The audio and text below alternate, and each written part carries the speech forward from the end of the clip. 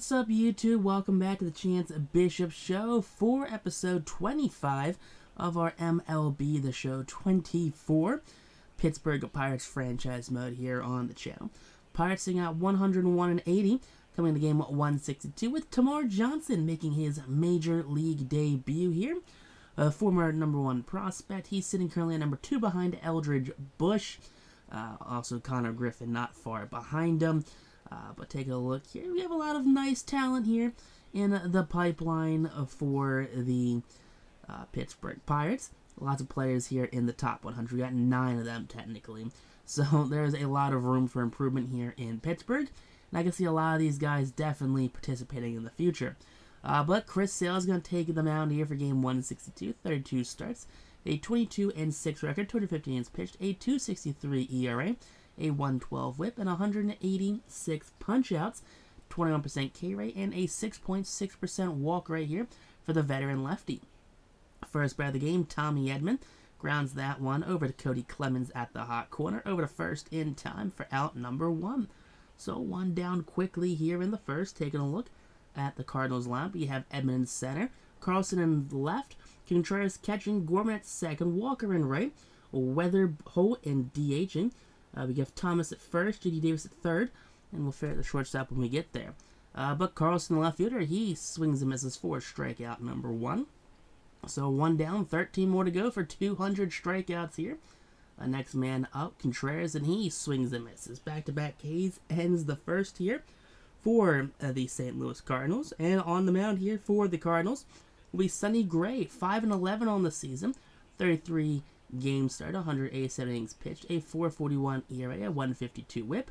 And yeah, he's had himself an okay season. I feel like a lot of his issues are definitely uh, the Cardinals letting him down, but that definitely doesn't help right there. The lead-off home run for uh, the Pirates, Kyle Schwarber, his 50th of the season. Big, fat 5-0 there for Kyle. You love to see that one. He's definitely he's definitely made a lot of fans here happy in Pittsburgh, and he's definitely lived up to that 4.1 million dollar contract here in year number one of uh, that four-year deal honestly, if he doesn't pan out the last year or two, I feel like if he hits 120 home runs, 140 home runs, he kind of lives up to it. Uh, Jarred Kelenic there, he slaps that one to left. Carlson gets into it quickly, uh, but he's standing now on first. Austin Martin up and Martin, uh, fastball up and in. You hate to see that one. Uh, Martin gets jammed on it. First punch out of the game here for Gray. Brent Rooker up and Rooker takes the middle high fastball deep to right field at the wall. Looking up, Walker We'll just watch that one fly. A two-run shot there, 31st of the season for Brent Rooker. And Rooker, there you go, puts the Pirates up 3 nothing here in the first inning. So a big fly home run. You love to see that one there. Uh, Rooker does um, have a lot of power here from the right side of the uh, batter's box. And he does critique well with Kyle Schwarber. Next man up, Termarr Johnson, who strikes out swinging. You hate to see that one right there. Go get him next time there, big fella. You got this. Up comes now Henry Davis, the catcher. Davis draws the two-out walk. So keeping the inning alive is the former first overall draft pick, Henry Davis. Up comes Robert Hassell. He drives that off-speed pitch left center field. That one's going to be getting down. That's going to hop over the wall right there. And there you go. So two on, two out, and a swing and a miss right there. That's an unfortunate way to end the inning. So up comes Nolan Gorman in the four hole. The second baseman drives that to center field. Uh, Kelenic, he's underneath of it. He will make the catch there for out number one. So one out now in the second. Up comes Jordan Walker, batting 249 on the season. He unfortunately hasn't really panned out yet. Uh, but he strikes out there. Third punch of the game for Sale. J.J. Wetherholt, he's the DH. He fouls that one off right there. Uh, big foul ball. Now I'll try this one again for Wetherholt. That's driven to left field. That one's back. Hassell, he makes the catch there. Nice running catch to end the second inning. So one, two, three, go the Cardinals. And up comes Cody Clemens batting in the nine hole here. Drives that cutter. Deep right center field. That one's back at the wall, looking up and gone. Cody Clemens connects with that one there. his fifth home run of the season. Uh, you like to see that there for the son of Roger Clemens. Cody getting things done here. You love to see that when you really do. Uh, but Cody rounds the base. He's going to step on home plate, and that's to put up the Pirates by yet again another run. 4 nothing is the lead here in the fourth. Now Schwarber full count. Schwarber will swing a miss fastball down and in. That is going to be the first out of the inning. Up comes Kelenic here. Kelenic drives that curveball to center field. That one is back. That one is caught on the run by Tommy Edman for out number two. So two outs now here in the second inning. And up will come Austin Martin in the three hole. Over oh one of the day, puts that on the ground right to the first baseman for a 1 2 3 inning. Up comes Thomas, that guy, the first baseman. He chops that one to Clemens. Clemens has it over to first in time for out number one. One down now here in this third inning. And up will come J.D. Davis, the third baseman. Davis grounds that one to Rooker, who takes it to the bag himself for out number two. Two quick outs here for Sale in the third inning. You like to see that one for the veteran lefty. Up comes Scott Kingery. Scott Kingery back in the league here. He drives that to right field. That's going to be ripped for the first hit of the game uh, for the St. Louis Cardinals. And Kingery playing in that shortstop position. Up comes Edman, who strikes out swinging there. And that's going to end the third following the two out base knock. Brent Rooker one for one with the home run. Watch Watches strike three go by. Yeah, I don't know what he was looking at there, but clearly wasn't that fifth punch of the game for Sonny Gray. Up comes Termarr Johnson looking for his first major league hit. Drives the up and in fastball to right field, or more like left field. That one's going to be caught for out number two. Up now, Henry Davis full count, and Gray gets him to pop up. Infield, here comes the first baseman. He's going to make the catch, and that's going to end the third inning.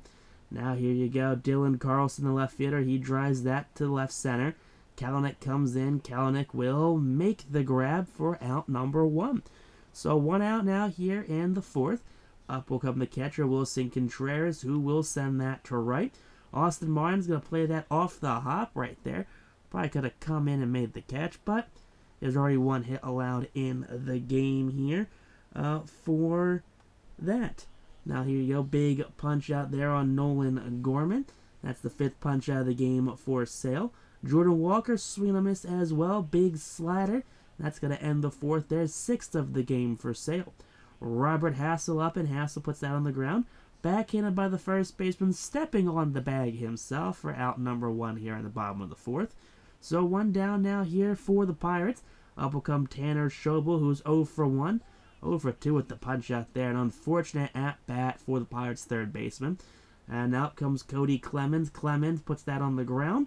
That one's fielded by the first baseman. He's going to step on the bag. One, two, three, go the Pirates. And up comes J.J. Wetherholt here, the DH. He drives that one center field. That one's back. Long run for Kelenic, who will make the catch for out number one. One down now here in the inning, as up will now be Tanner Saggese. So Tanner, the first baseman, uh, Thomas Saggese, close enough. It starts with a T. He's a made-up player, I'm pretty sure, unless it's like a first-round draft pick somewhere that I've forgotten about. Uh, J.D. Davis, the third baseman up, he swings and misses. That's seven on the day for Sale, and that's going to end the inning. One, two, three, go the Cards, and up will come Kyle Schwarber. One for two on the day with the homer. Lines that one to the third baseman, who knocks it down over to first in time. Yeah, Kyle Schwarber, he's pretty slow. Let's be honest, he's just here for the home runs. Kelenic up now, he puts that on the ground. Fielded by Kingery, who boots that one as well. Lots of defensive blunders here in this fifth inning uh, by the St. Louis Cardinals. Out comes the veteran Steven Matz.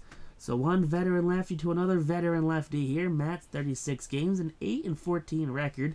I'm assuming he spent some time in the rotation based off of those totals there. 172 innings pitched. Yeah, he definitely was a rotation guy for a little bit. He strikes out Austin Martin for the second out here in this fifth inning. And, well, with one on and two outs, Rooker drives that one down the right field line. That one will be getting down, one hopping off the wall in right field. That one's in the corner. Problems fielding it by the right fielder, Walker. Uh, but that's going to be man on second and third now. And there you go. And here we go. Termarr Johnson looking for the RBI, and he strikes out swinging to end the fifth, stranding two in scoring position. You hate to see that one there for the rookie second baseman. Scott Kingery, one for one on the day. The first hit of the game for the Cardinals. He strikes out swinging. Unfortunate at bat there for Kingery. That's the eighth of the game now for Sale. Tommy Edman's up, and Edman will go down looking. That's nine on the day for the veteran Chris Sale. So he's only five away now from 14, which is 200 on the season. Carlson drives that one to right. Austin Martin underneath makes the grab, and that's going to end the sixth here. One, two, three go the cards. And on now to the bottom half. Henry Davis leads things off 0 for 1, and he gets plunked. So yeah, Henry Davis on board for the second time this game. Hassell, the outside slider. That one's going to go to second. That's over to first in time. So does that a 1 6 3 double play. Next up, Tanner Schobel, the shortstop. He's playing shortstop this game, not third base. Clemens is playing third base. He grounds out to end the inning. Willson Contreras leads things off here. Grounder up the middle. Schobel can't quite get there in time. That's why he's a third baseman. Doesn't quite have the range. Uh, but wanted to give Clemens the start at third. Up comes Gorman, who strikes out, swinging at the low fastball. That's now 10 on the day here for Chris Sale. He is in the running for hopefully getting 14 as Jordan Walker strikes out for mighty number 11 on the day. Now with 11 strikeouts, that's the bake, that's the dozen right there on the next batter up, Weather Hope, as he goes down for the 12th of the game. Now up comes Cody Clemens, one for two with the home run. He swings to that off-speed pitch outside the zone. Uh, good attempt there, Cody. I still love you. You're still my favorite. Kyle Schwarber out now, one for three with a couple ground outs. Drives that one left field. That one underneath of it by Dylan Carlson. And that's going to be out number two. So two quick outs now here in the seventh inning, and up will come Jarred Kelenic. Two for three on the day. Kelenic will chop that one infield. Kingery has it. Kingery over to first in time for out number three. One, two, three go the Pirates. And out will come Quinn Priester. Priester going to be relieving the veteran Chris Sale. He's not going to hit 200 punch outs this season, unfortunately. Pitch count is too elevated, uh, says the manager Stephen Vogt. Uh, but Priester spent some time between the rotation, and now he's in the bullpen.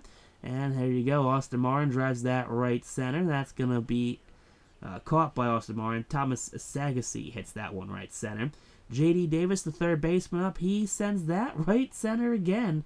That's actually more just straight away right. And that's caught, though, by Austin Martin for out number two. So with two outs now here in this eighth inning, up will come Scott Kingery. And Kingery will strike out swinging the 12-6 curveball. Good old Uncle Charlie ends the inning there. Love to see that there for uh, the young Priester. Up comes Austin Martin, who drops that one up the middle. That one's going to bleed into the outfield. And there you go, lead off single here in the eighth for the young Austin Martin. Now up comes Brent Rooker. Rooker fights that one to right, caught by the second baseman Gorman, and that's going to be out number one. Termarr Johnson up looking for his first major league hit, rolls that to Gorman, over to Kingery, back uh, to the first baseman in time for a, uh, what is that, 6-4-3 play, or 4-6-3 play, something like that. Next man up, it's to be Tommy Edman. Edman Grounds that one to Johnson. Johnson jump throw there to first in time. Good old athletic play there by Termarr Johnson. Dylan Carlson 0 for 3. He's going to make that 0 for 4. Hopefully, Schobel long throw in time. Beating out the speedy Dylan Carlson. He cocked back and just yeeted that one across the diamond. Contreras with two outs in the inning. That one's knocked down by Clemens. Clemens throws from the getting up position. And there you go. Across the diamond goes Cody Clemens. And that's going to end the inning here. Two scoreless innings uh, there for Quinn Priester in relief. That's going to be seven scoreless of four. Uh, the starter there, Chris Sale. So a nice Pirates victory here to end off the regular season. Game 162 is a 4 0 victory. Uh, Chris Sale picks up his 23rd win. Sonny Gray drops to 5 and 12, unfortunately, on the season. Play the game does go to Sale. Seven innings pitched, three hits, 12 punch outs he did fall too shy of the 200 strikeout milestone, uh, which is a huge accomplishment for any pitcher.